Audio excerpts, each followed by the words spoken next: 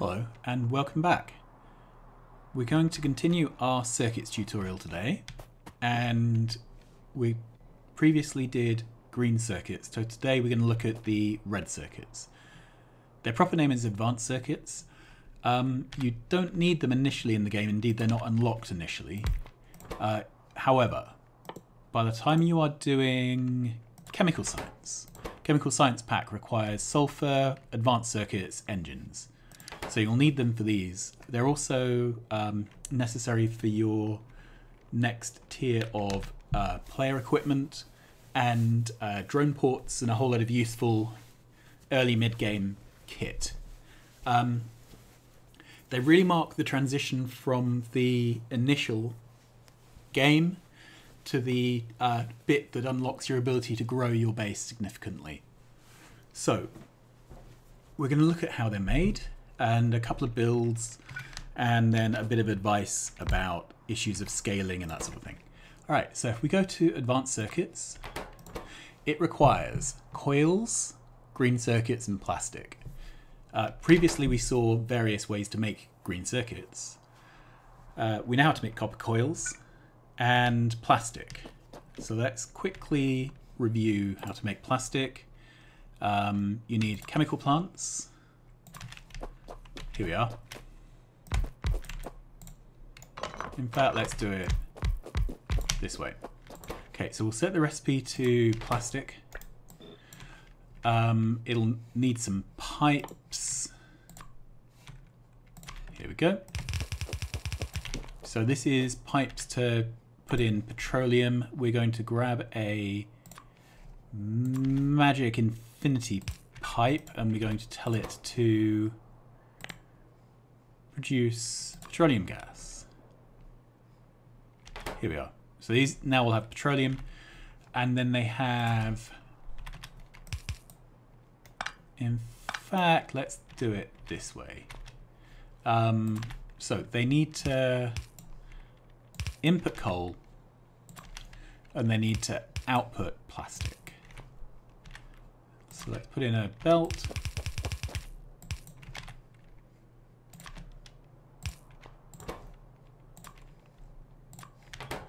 go.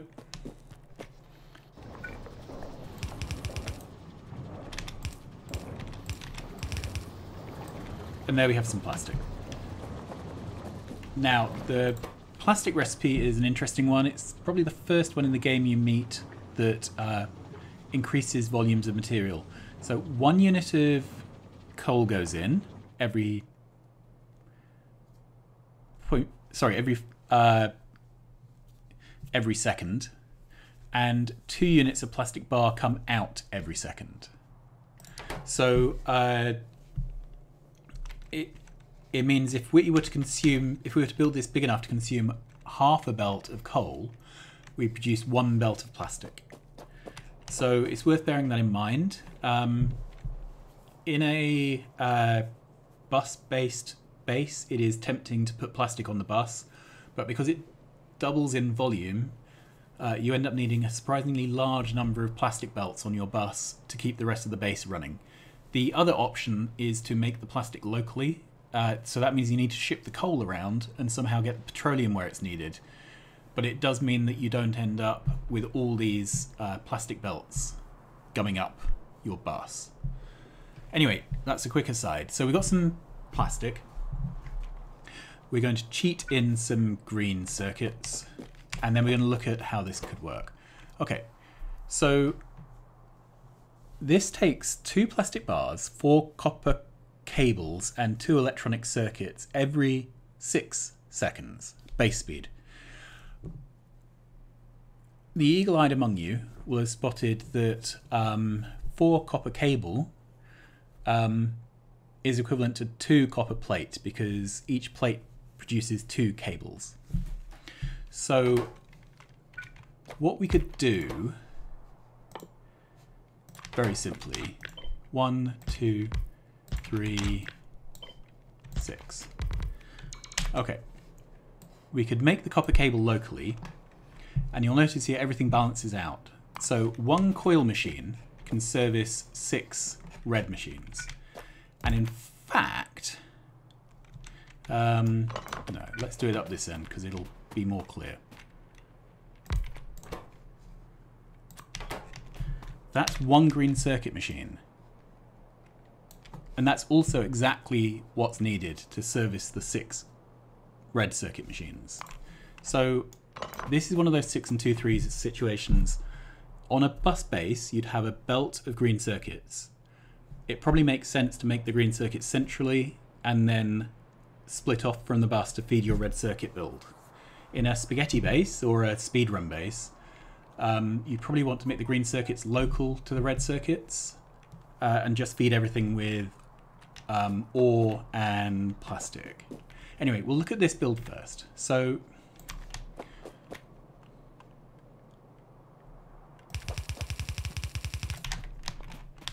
let's have a look at this. So the first thing we're going to do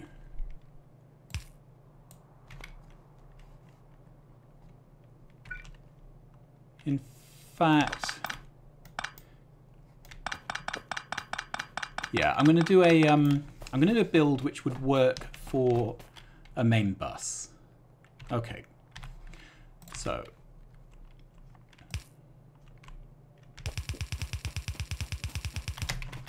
this belt here is going to input um, green circuits and plastic. Then this belt here is going to be copper coils.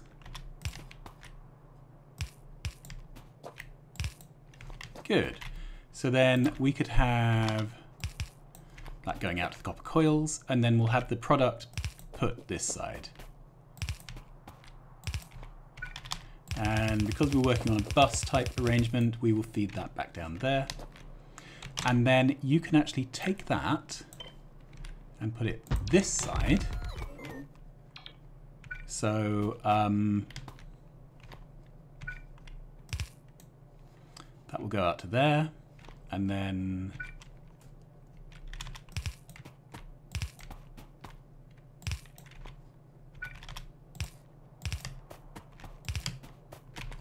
good.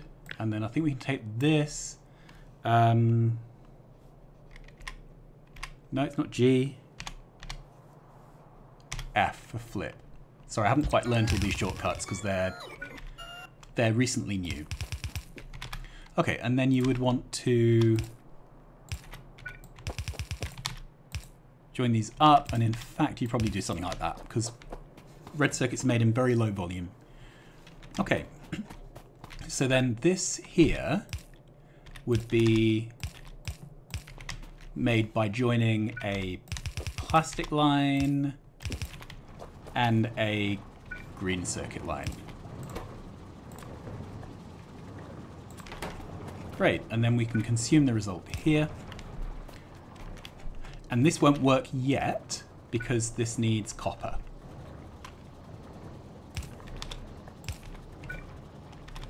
Now there are other ways to make this build. Okay, and we'll we'll have a look at that. We'll have a look at some of them in a minute. But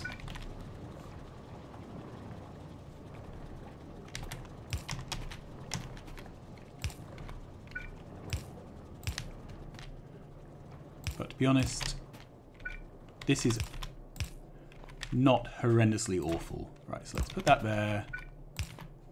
And we'll feed this some copper. And then the whole thing should spring into life. So you can see the copper coils being made here. They're going up this belt. Oh, I missed out this inserter here. Let's put that in. Good. So these are then crafting and they take a long time to craft as you can see. But then the red circuits are made, they're dumped out here. And this kind of build is convenient uh, because, let's grow that out. I'm wasting a bit of copper plate here, but you know, copper plate is cheap. If I decide that I'm not getting enough red circuits, I can pick up this unit and push it down there. There you go. Now, buyer beware. If you use this build, then you'll get halfway through extending this out and suddenly you will have run out of plastic and green circuits. The reason is we're only putting half a belt of plastic and green circuits. Um, let's bump this up to a full belt of copper. Okay. So you can see it's reaching the end, but if we put another build on the end here, let's see, it might still work. Uh, you'd need power poles in here, obviously, for a real build. Um, I haven't bothered because we're we're being tutorially, um, and we need some more long-handed inserters, apparently. Okay. So you can see this is working. Um, and it's just beginning to back up. Uh, let's do one more. See what happens. Okay, we're going to improve this build in a moment. Um, some of those. And you, you can see this is quite a hungry build for parts just because of the size of the thing. Alright. So I think it's showing up the issue now. So at about this point we are running out of plastic and green circuits. Which is fair enough, you know. I don't know quite what you're expecting to happen when you make the build bigger and bigger. Now we could upgrade to red circuits, which is what you would do, but then you'd, you'd run out of resources for the red circuit build quite soon as well. Now one option is just to copy this whole thing and put another one there, which is a perfectly sensible option. However, we can improve this build in essentially the same footprint. The problem is, uh, this belt is shared for both this red machine and this red machine. Okay, so what we're going to do is cut this half of the build off, move it over one tile, and then we'll probably have to do some surgery in a moment to fix everything up. Um, in fact, I'm going to take out all the inserters because the inserters are most likely wrong. Then I'm going to copy the inserters this side. There we go. And I'm going to flip them. And then I'm going to copy this belt. And I'm going to put that down there as well. Okay, um, we'll need some more belt, I guess. Um, more tier 2 assemblers. There we go. Okay. And as yet, we only have half the build running. But we could now adjust this arrangement here.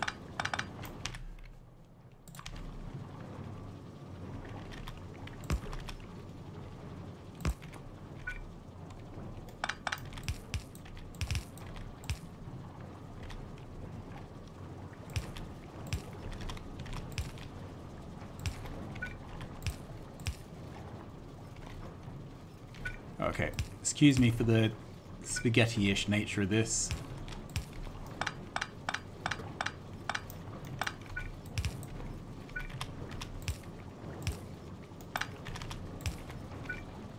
I am kind of designing this all on the fly, but you get the idea. So um, this, let's adjust this to be a full belt of green circuits. Um, let's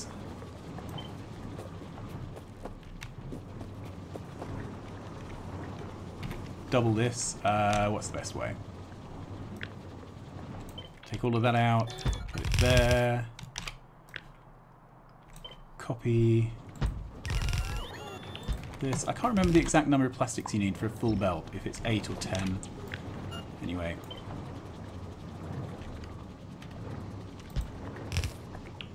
Let's build it anyway.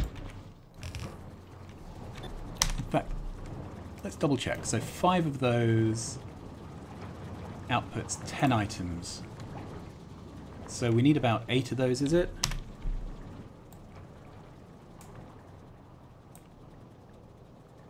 Eight of those, yeah. So we don't need the final build. Good. So we will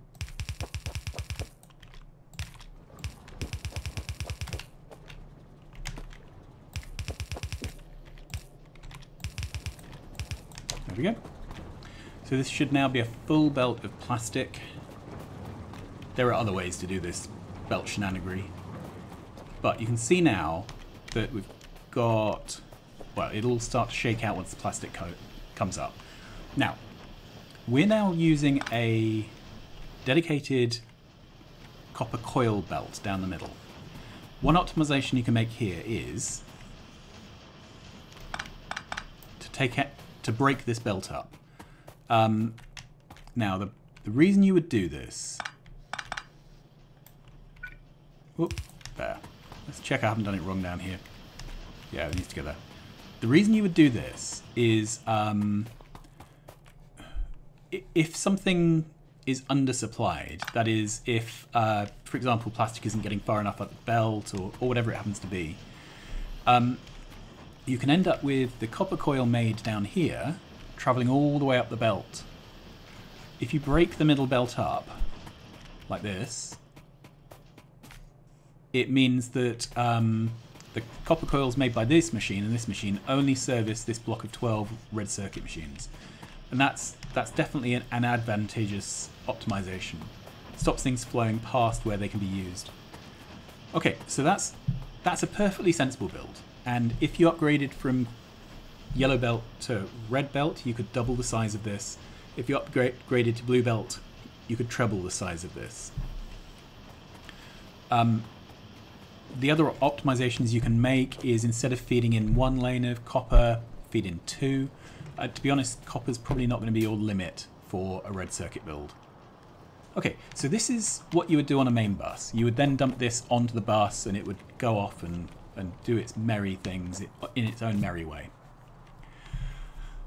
The um, other red circuit build that I end up using uh, is more of a speed run build. Uh, it's for when you want to make and consume red circuits where you are. And this um, involves a bit more maths. Okay, so let's mock it up. Okay, you may remember from last time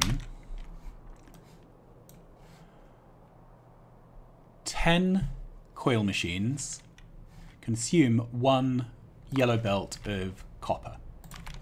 So let's set this up. Sorry, let's set this up. So this is going to be a line of copper.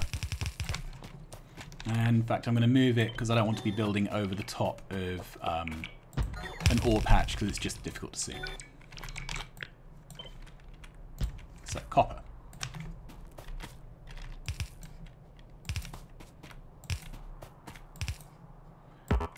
And I'm pretty sure you can feed this with um, yellow inserters from vanilla without any insertion bonuses, but if not, use blues. In fact, for the sake of exposition, I'm going to use blue inserters here. Okay. Um, and in case of confusion, these red circuit machines run so slowly uh, that um, yellow inserters are fine.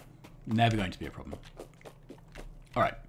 So these now need to output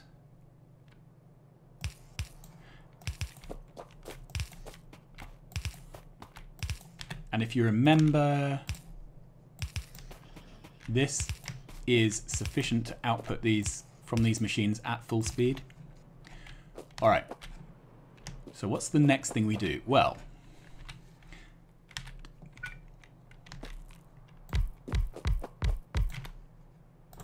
These are going to be green circuit machines.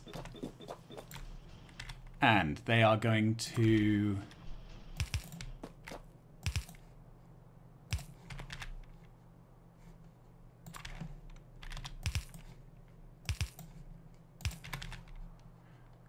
take in iron.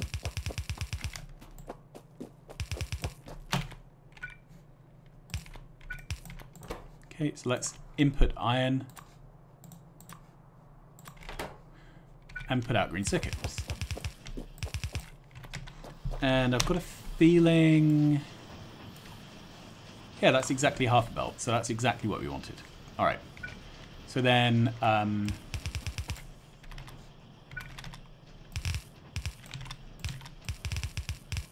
there's some copper coil.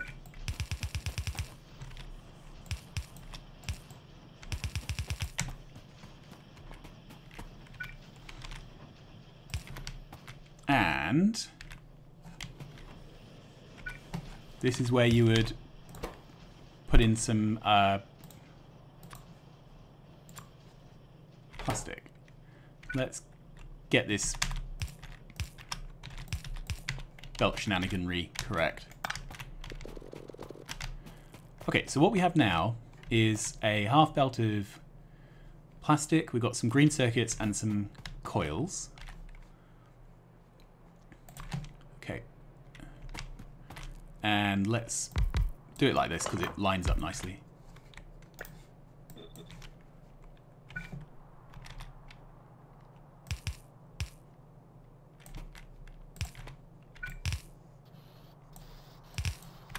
Okay, so that is our unit. And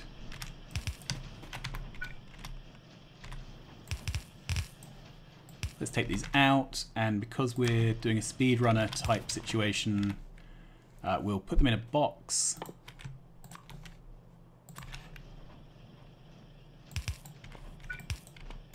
In fact, one box will be enough because life is too short. And then that would go off, and you'd use it for things like blue, blue science, okay? So let's grab this, paste it there. So that's two, four, six machines. 12. 18. 24. Okay. And we're out of long arms. There we are. So it's a very simple build, right? You can make this pretty trivially. And um, if you were to move this belt one further out, uh, we could have just swiped across, put down all six of these inserters in one go. I'm not going to here. Okay. So what we've done is we've taken one smelter's worth of copper, copper plates and part of a smelter of iron plate. And just to prove the point, I'm going to put a, a sink on here.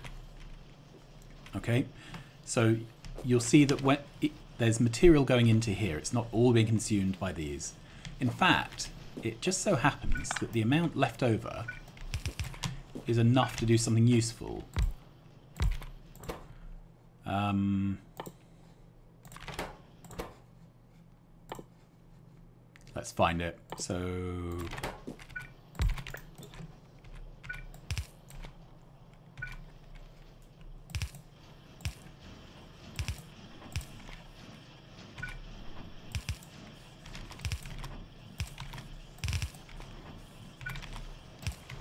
There we go. So let's see how well this burns through the, the copper, the iron plates. So you can get a bit more out of it than this. But you can see this is now your pipes and your gears that you need for your engine build, for your, your chemical science. So the chemical science itself does not need this many red circuits. Okay, not quite. Uh, you can see we're not quite running the last machines here, uh, not running the last four.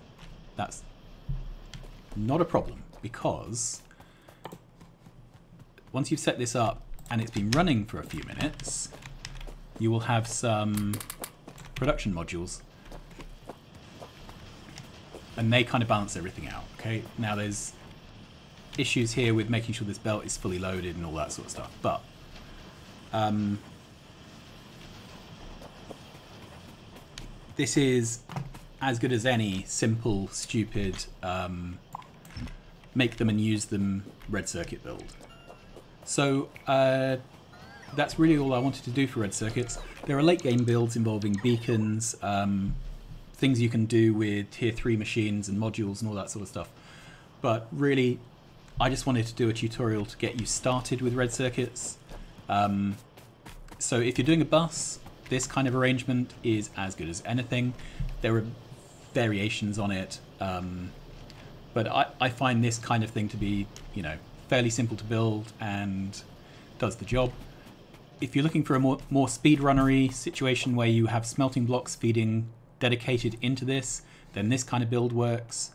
Um, and you've got a little bit of iron plate left over to feed into something else.